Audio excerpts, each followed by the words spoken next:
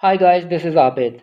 Textures plays a beautiful role in fabric painting. Hot wax create amazing visual textures with the help of different materials. For example, different sizes of the brushes, wires, sponge, dry grass, blocks and net. In this video, I tried to create textures in very simple way. You can use these textures in your batik painting. You can find different materials from your surroundings and utilize them in your batik art. If you haven't subscribed to my channel yet, please do it and follow me on Instagram and Facebook. Let's start the video.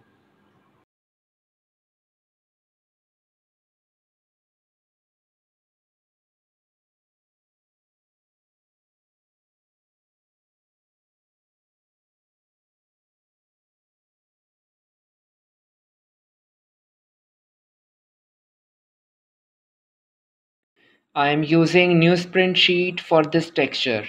Fold the sheet two or three times, twist it and roll the sheet as you can see in the video.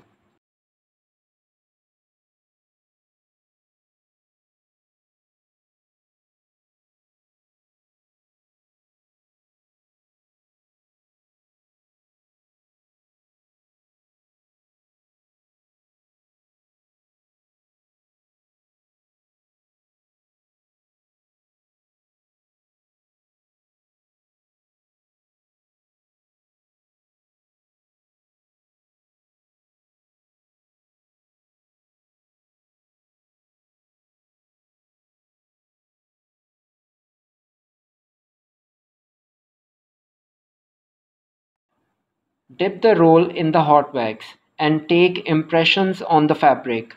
Do not dip more than half inch in the hot wax. After complete the impressions, stretch the fabric on the wooden frame. I have made a video on how to stretch the fabric on the wooden frame. Find the link in this video description.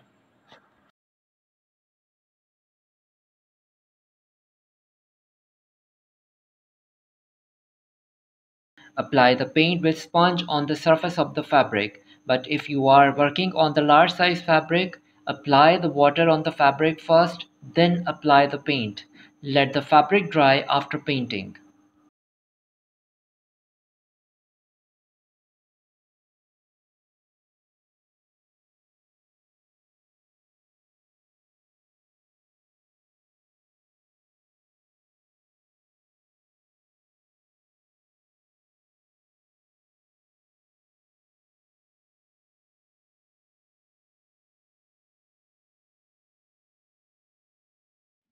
When the colors dry out, remove the wax from the fabric.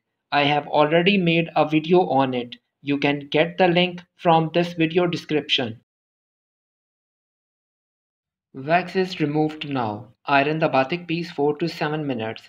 I used iron fixed silk paints in this video. If you are using silk dyes, iron the fabric according to the suggested video and follow the instructions given on the dyes label. Thumbs up if you like my video and don't forget to subscribe if you visit my channel for the first time. Thanks for watching. Stay safe, stay happy. Goodbye.